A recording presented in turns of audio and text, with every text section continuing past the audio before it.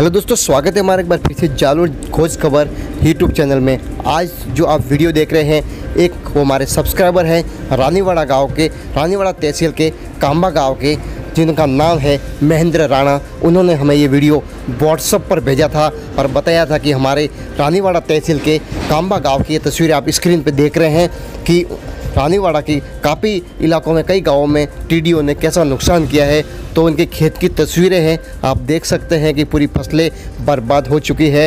जालोर ज़िले के रानीवाड़ा गाँव की एक तस्वीरें आप अभी देख रहे हैं। हमारे सब्सक्राइबर ने हमें ये भेजा है। अगर आप भी जालोर ज़िले से हैं और ऐसी कोई खबर हमें भेजना चाहते हैं तो हमारे जो व्हाट्सअप नंबर है, वो डिस्क्रिप्शन में दिए हुए हैं। वहाँ पे जाकर आप उस व्हाट्सअप नंबर पे हमें कोई भी जालोर से जुड़ी खबर भेज सकते हैं। जी, लेकिन खबर सही होनी चाहिए। झूठी या फेक खबर हम नहीं दिखाएँगे।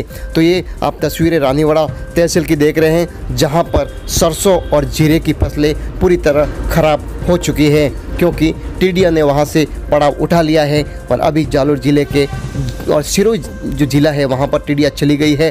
तो ये जो रानीवाड़ा तहसील है, वहाँ पर रात को टिडियों ने डेरा डाला, उसके बाद में खेतों पर आक्रमण किया।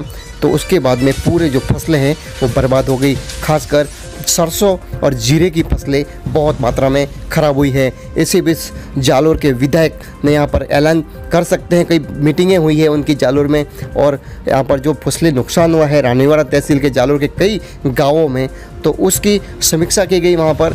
जो विधायक हैं वहाँ के जालोर के, इसके बाद में हो सकता है कि जल्द मुआवजे की घोषणा भी कर दी जाए। तो आप जालोर के कौन से इलाके में रहते हैं, हमें कमेंट बॉक्स में ज़रूर बताएँ। और आप भी ऐसी कोई खबरें अगर देना चाहते हैं तो हमारे व्हाट्सएप नंबर नीचे दिए गए हैं। आप वहाँ जाकर कोई भी खबर हमें दे सकते हैं। तो आज का वीडियो यही था। आपका बहुत धन्यवाद महेंद्र जी राणा, जो कि रानीवाड़ा के रहने वाले हैं। उनके गाँव की, उनके खेत की तस्वीरें हमें भेजी और मोहित कराया कि सरकार तक ये पहुँच जाएगी। कैसे, कीड़िया जाने के बाद में यहाँ पर जालोर ज़िले के गाँवों का खेत है।